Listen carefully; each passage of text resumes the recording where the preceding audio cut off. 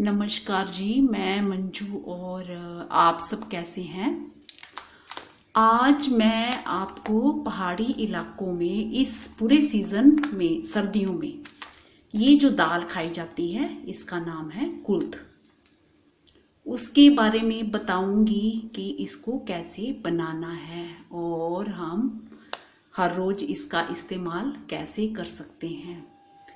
तो सर्दियों के सीज़न में ये ज़्यादा से ज़्यादा खाई जाती है।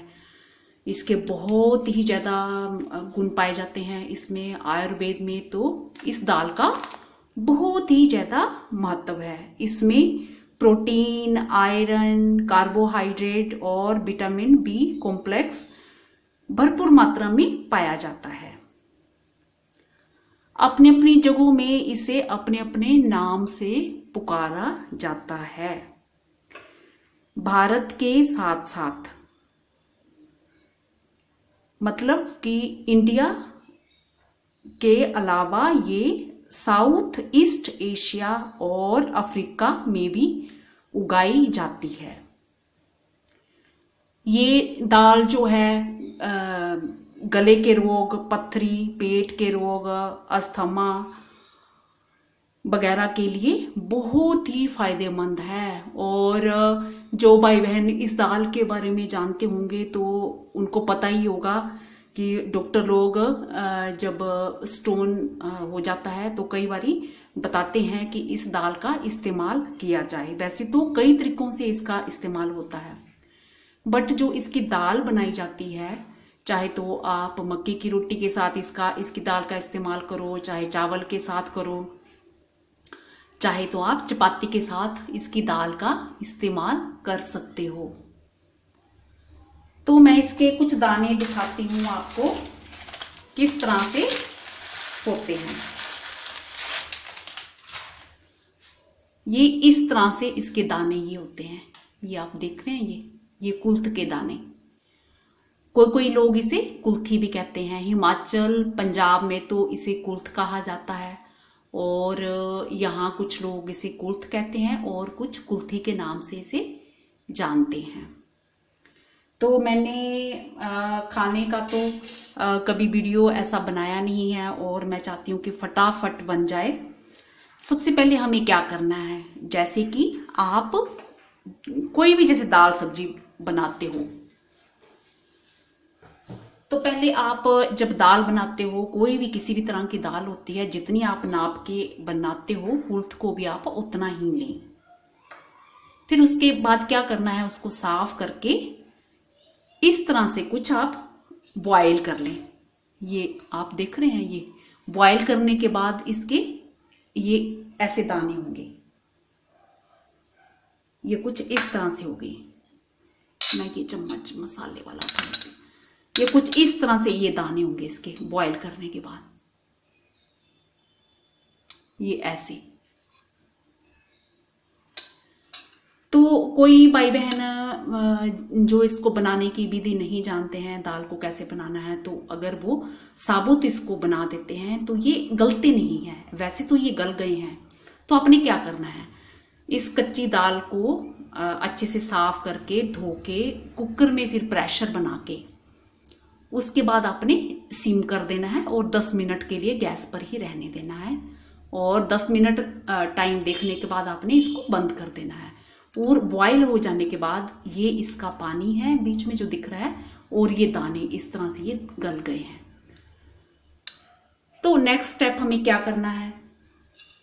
नेक्स्ट स्टेप जो हमारा है, वो ये है कि अपनी सुविधा अनुसार आप इस दाल को बॉयल की हुई दाल को इस तरह से ये ग्राइंड कर लें आप। ये जैसे मैंने की है। चाहे तो आप वो फ़ूड प्रोसेसर में कर लें, चाहे मिक्सी में, जैसे भी आपको आपके पास सुविधा हो, आप उसी तरह से इसको कर सकते हैं। तो ये कुछ इस तरह से हो जाएगी। ये बिल्कुल ऐसे पीस के, बिल्कुल बारीक जैसी, कुल्थ के पानी के साथ ही इसको पीस देना है आपने तो फिर आगे हमें क्या करना है? आगे जो नेक्स्ट स्टेप है, वो मैंने गैस ऑन कर दी है और ये तेल मैंने इसमें कढ़ाई में डाल दिया है। तो तेल आप अपनी सुविधा अनुसार जैसे भी आपको मन करे तो आप तेल उस तरह का ले सकते हैं, जो भी आप वेजिटेबल ऑयल खाते होंगे। फिर कुछ नहीं करना है। सबसे पहले हमें ये बस इसमें मसाले डालने हैं।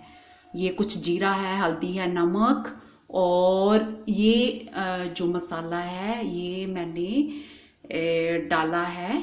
ये आप जानते होंगे, बहुत ही काम की चीज़ है, मेथी दाना। इसको भून के पीस के मैंने एक डिब्बा भर रखा हुआ है और हर सब्ज़ी और दाल में इसका इस्तेमाल करती हूँ। और लाल मिर्च और नमक जितना आप खाते हो उस तरीके से डालने। सबसे पहले हमने ये जीरा तेल में डालना है। ये जीरा डाल दिया। और उसके बाद हमने क्या करना है? ये प्याज मैंने ये इस तरह से काट के रख लिया है। दो प्याज मैंने रख लिए हैं। तो जैसे कि आप अपनी दाल को तड़का देते हो, बस वैसे, उसी तरह से। और इसको चला देना है।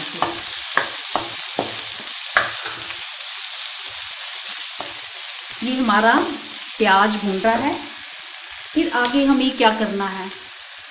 ये मैंने कुछ पेस्ट जो लहसुन और अदरक का है, ये मैंने पीस के रखा है। तो मैंने इसको काटा नहीं है।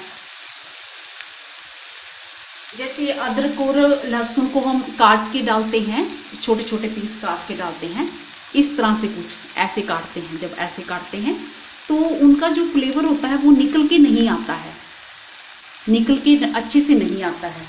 तो इसलिए मैं आपसे कह रही हूँ कि जब भी आप लहसुन और अदरक का पेस्ट किसी भी चीज़ में मिलाएँ तो आप इस तरह से पेस्ट को ये इसमें पीस लें।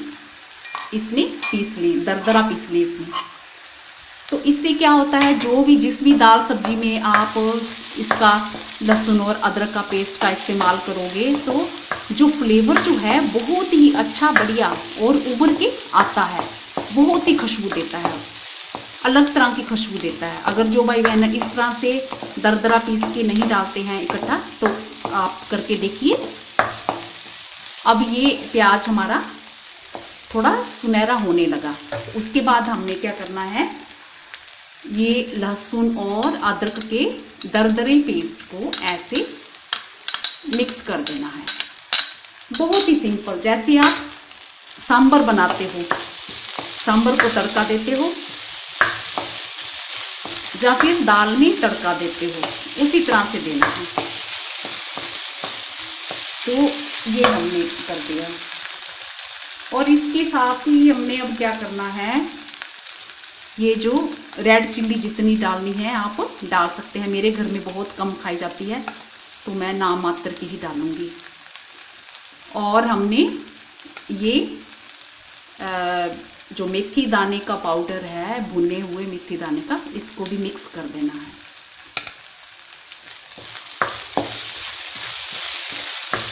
तो ये अब हमारा प्याज के साथ साथ लहसुन और अदरक का दरदरा पेस्ट भी भुना जा रहा है। तो ये कोल्स इतनी फ़ायदेमंद है कि पहाड़ी इलाकों में जैसे बहुत ज़्यादा ठंड होती है तो इन दिनों क्या किया जाता है? ज़्यादा ज़्यादा से ज़्यादा लोग कोट को खाना पसंद करते हैं।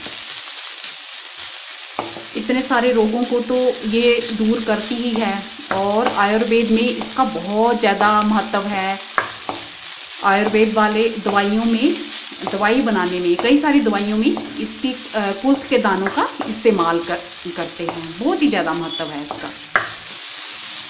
तो मेरे आ, कई जो भाई बहन हैं वो नहीं जानते हैं कि इसको पीस के कैसे बनाया जाता है। बस अब ये हमारा मसाला हो गया और ये जो हमने ये ग्राइंड कर रखी थी। ये कुल्थ जो पीसी हुई थी हमने, उबली हुई कुल्थ जो हमने, ये उसके पानी के साथ ही पीस दी थी। तो इसको बस ये डाल देना है ऐसे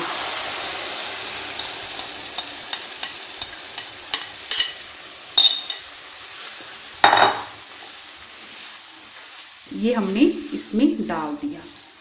और पानी कम या ज़्यादा हो तो आप अपनी सुविधा अनुसार और डाल लें। तो अभी मैं इसमें पानी मिलाऊँगी और अब मुझे हल्दी और नमक भी मिला देना है। इसमें ये मेरे घर में इतना नमक चलता है नाप के एक चम्मच तो मैं इतना नमक डाल दूँगी। बाकी आप अपना टेस्ट देख लें कि आपको कैसा नमक चाहिए। उसी तरह से आप बनाएँ।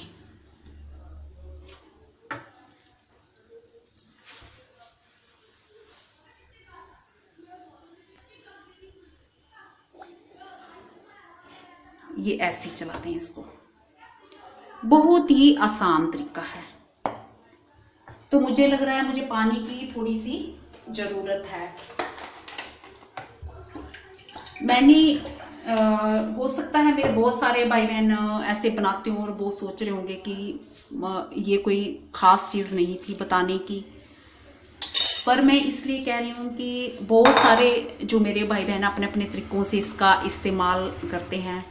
तो कोई लोग जैसे इसके दाने बॉईल करके उसकी परोंठी बनाना पसंद करते हैं। अब इसके बाद क्या करना है मैं बताती हूँ। इसके बाद इसमें खटाई डाली जाती है तो मैं एक लेमन डालूँगी इसमें। तो अगर आपके घर में कम खाते हैं तो आप थोड़ा कम डाल लीजिए। अगर ज़्यादा खाते हैं तो आप उसी अनुसार डाल लीजिए।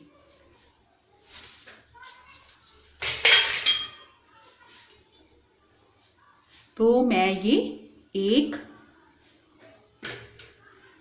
लेमन डालूँगी। लेमन बहुत बड़ा है।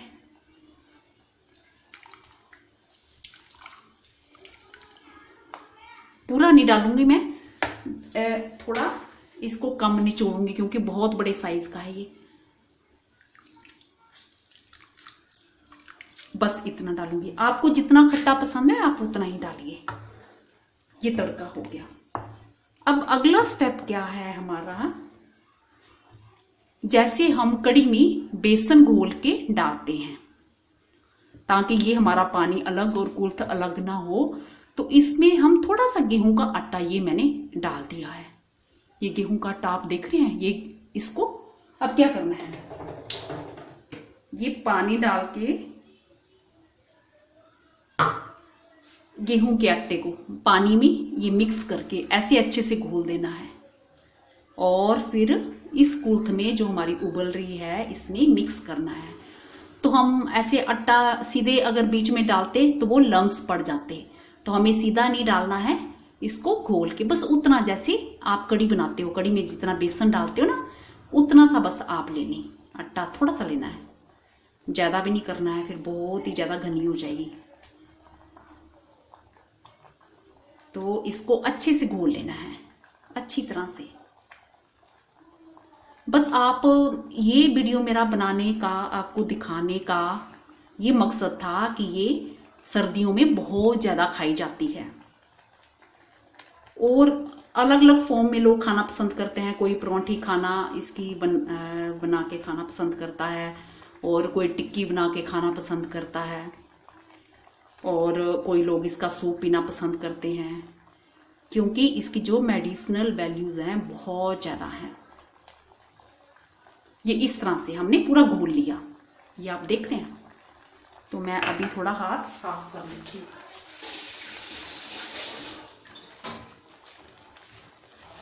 तो ये हमारी दाल जैसे अब ये बॉईल होने लगी है। तो इसको गैस को हमने सिम कर दिया। तो ये इसमें धीरे धीरे हमने ऐसे डालते जाना है। ये डाल दिया हमने। तो इसका कलर देखिए कितना अच्छे से आ रहा है। बहुत अच्छी तरह से आ रहा है।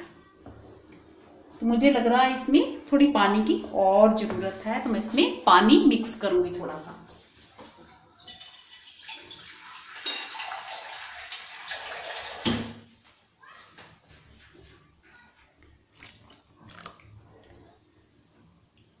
पेट वगैरह पेट के जो रोग होते हैं, उनके लिए ये बहुत ही ज़्यादा फ़ायदेमंद है। और पथरी के लिए तो डॉक्टर इसे बहुत ही ज़्यादा लोगों को बताते हैं। आपने सुन रखा होगा जिन भाई बहन इसका इस्तेमाल करते हैं, खाते हैं तो आपने सुना ही होगा। तो ये मुझे आइडिया कहाँ से आया कि मैं इसका वीडियो बना के आपको दिखाऊँ? कुछ दिनों पहले मैं अपनी एक फ्रेंड के यहाँ गई थी तो इस कुल्थ के बारे में बात चल रही थी। तो वो मेरी दोस्त कहने लगे कि हम टिक्की बना के खाते हैं, पाँच किलो कुल्थ हम लेके आए हैं। बट हमारे बच्चे पसंद नहीं करते, क्योंकि वो कुल्थ गलती ही नहीं है, हम जितना मर्ज़ी गैस पे उसको जितनी देर रखें। तो मैंने उनको कहा कि सिर्फ़ दस बारह मिनट आप प्रेशर बनने के बाद आप कुकर में प्रेशर जब बन जाता है तो गैस को आप सिम कर दीजिए तो वो बड़े अच्छे से गल जाती है। पर वो कहते नहीं हम जितनी मर्ज़ी देर रखते हैं तो वो हमारी दाल बनती ही नहीं है अच्छी। तो वो क्या करते थे इसको आ, जो है ग्राइंड नहीं करते थे पीसते नहीं थे इसको। तो फिर मैंने उनको बोला कि कुल्थ की दाल जब बनाते हैं तो उसको हमेशा पीसना पड़ता है। और ये अब हमें इसी तरह से कुछ देर इसको चलने देना है। और जैसे कि हम कड़ी के लिए करते हैं, जितनी देर हम कड़ी रखते हैं, उतनी देर इसको रखना है। और आगे का मैं फिर थोड़ी देर में आपको बताती हूँ। दस मिनट हो गए हैं हमारी दाल को बनते हुए। और अब हम ढक्कन हटा के इसको देखेंगे। जैसे कि ये बहुत अच्छे से ये बन गई है। तो आप अपनी सुविधा अनुसार ज़्यादा टाइम भी रख सकते हैं। तो ज़्यादा से ज़्यादा पंद्रह मिनट रख लीजिए। जैसे कि आप कड़ी बनाते हो, बस उसी तरह से। जैसे आप कड़ी में बेसन डालते हो ना, फिर उसके बाद रखते हो, उसी तरह से करना है इसको। तो ये अच्छे से तैयार हो गई है। उसके बाद आपने क्या करना है? ये मैंने हरा धनिया। ये मैंने कुछ काट के रखा था। ये सब मैंने तैयारी इसलिए करके रखी थी ताकि मेरा वीडियो लंबा ना बने। और मेरी बहनें तो सब दालें बनाती हैं। उनको पता ही है क्या तड़का सामान होता है, कैसे तैयारी करनी है। तो ये धनिया डाल देना है इसमें, धनिया पत्ती। धनिया पत्ती हम ये खूब सारी इसमें मिला देंगे। तो बहुत ही अच्छा फ्लेवर आता है। ये धनिया पत्ती हमने मिला दी। और गैस को हमने ऑफ़ कर देना है। ये ऑफ़ कर दिया। तो अब क्या करना है? कई लोग जो बताते हैं बोलते हैं कि ये जो दाल होती है, थोड़ी खुश्क होती है। तो जब भी आप सर्व करें, रोटी के साथ दें किस चीज़ के साथ, चावल के साथ दें तो थोड़ा ये ऐसे। ये दाल, जैसे जिस तरह से भी खाएँ। और ऊपर से देसी घी ज़रूर मिला लें। तो इसका जो टेस्ट है, वो तो फिर आप खा के ही मुझे बताओगे कि कैसा है। ये इस तरह से देसी घी, और सर्दियों में तो देसी घी खाया ही जाता है। ये तो कटोरी में थोड़ी सी दाल है, चावल के साथ ज़्यादा लगेगी। तो जिन भाई बहनों को अगर स्टोन की प्रॉब्लम है तो ये दूसरे तीसरे दिन इस दाल का इस्तेमाल करें। ज़्यादा से ज़्यादा इस्तेमाल करें। इस दाल को खाने से क्या होता है, जो स्टोन होता है वो डिज़ोल्व हो जाता है। और पेट संबंधित जो भी रोग हों, वो भी प्रॉब्लम्स दूर हो जाती हैं। खास करके खांसी, जुकाम वगैरह इस मौसम में खूब होता है। तो ये जो दाल है, इसकी तासीर गर्म होती है। अगर इसका हम ज़्यादातर, ज़्यादा से ज़्यादा इस्तेमाल करते हैं तो खांसी, जुकाम की प्रॉब्लम भी हमारी दूर होती है, वो हमें फिर पूरी सर्दियों पर होगा ही नहीं। तो होप करती हूँ आज का मेरा वीडियो आपको पसंद आया होगा और मुझे नहीं मालूम था कि ये कुकरी वाला कैसे बनाना है। तो आज मेरे घर में ये बनी रही है दाल तो मेरे घर में सर्दियों में तो ये हर तीसरे चौथे दिन बन जाती है। तो हम इसको खूब खाना पसंद करते हैं। तो मेरे भाई बहनों आप भी इस दाल को ज़रूर बनाएँ और ये देसी घी डाल के, ऊपर से देसी घी ज़रूर डालें। तो बहुत ही स्वादिष्ट लगती है, बहुत ही अच्छी। तो ज़रूर ज़रूर बनाएँ, फिर मुझे बताएँ कैसी बनी है। क्योंकि बहुत सारी जो माताएँ बहनें हैं, वो ये नहीं जानती हैं कि इस तरह से ग्राइंड करके इसको दाल को ऐसे भी बनाया जाता है। और अगर हम ज़्यादा इस्तेमाल करना चाहते हैं तो हम रोज़ टिक्की नहीं खा सकते। और टिक्की में तो फिर बहुत सारी चीज़ें ऐसी होगी जो हमारी हेल्थ के लिए नुकसानदायक भी हो सकती हैं। तो टिक्की वगैरह को तो जैसे खूब सारे तेल में फ्राई करना पड़ता है। करारी करनी पड़ती है तो कभी कभार ही चलती है। या फिर परोंठी भी हम रोज बना के नहीं खा सकते। तो दाल को तो हम हर दूसरे तीसरे दिन इस्तेमाल कर सकते हैं। अगर मेरे भाई बहन कोई दाल का इस्तेमाल नहीं करना चाहते तो इसको कुल्थ को बॉयल करके जो इसका पानी होता है हल्का सा नमक डाल के सेंधा नमक डाल लीजिए, जैसी आपकी इच्छा हो। तो ये बहुत ही टेस्टी लगता है और बहुत ही गुणकारी तो आपको पता ही है। नमस्ते जी, होप करती हूँ मेरा वीडियो पसंद आया होगा और आप अपने घर में इस कुल्थ को ज़रूर बनाओगे। और इसके जितने भी गुण हैं उनका भरपूर फ़ायदा लोगे। धन्यवाद जी।